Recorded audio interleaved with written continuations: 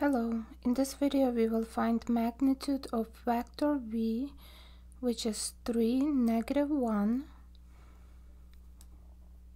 To find magnitude of vector v we find magnitude of 3 negative 1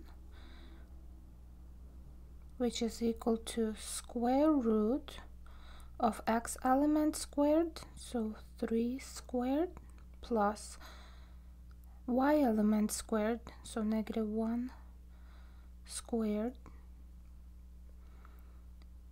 This is equal to square root of 3 squared is 9 plus negative 1 squared is 1 so this is equal to square root of 10 and this is our solution. That's all